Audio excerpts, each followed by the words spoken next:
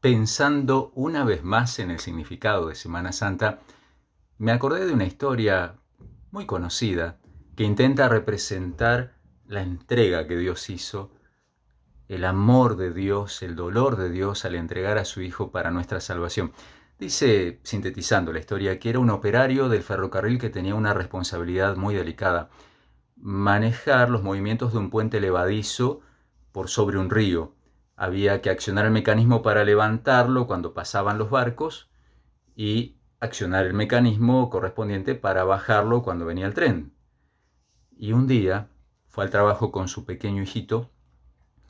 De pronto se desesperó porque lo perdió de vista, no lo encontraba, pero ya venía el tren, tenía que accionar el mecanismo para bajar el puente y que el tren cruzara sin problemas.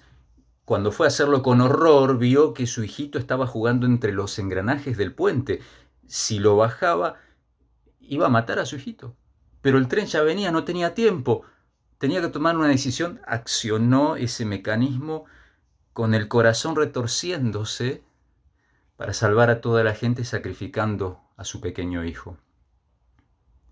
Pero esta historia tiene un problema a la hora de intentar representar el amor de Dios al entregarnos a su Hijo para nuestra salvación.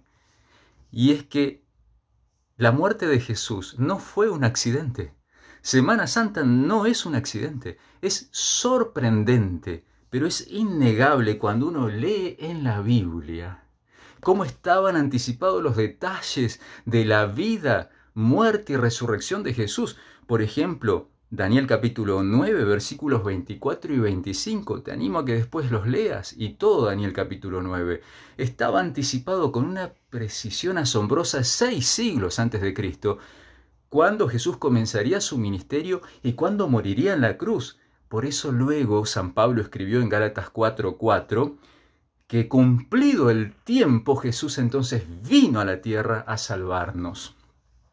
Semana Santa no es un accidente y quiero decirte que tu vida y mi vida no son accidentes. Dios tiene un plan para tu vida. Aunque tu vida esté llena de accidentes, eso no anula el plan de Dios. Si le permitís que Él dirija tu vida de acuerdo a su propósito de amor, a su propósito de salvación, y por eso entregó a su Hijo por vos para salvarte. Dice Salmo 138.8, Señor, tú cumplirás tu propósito en mí. Tu misericordia es para siempre. Tú no desamparas la obra de tus manos. Que Dios te dé esta seguridad en esta Semana Santa y siempre.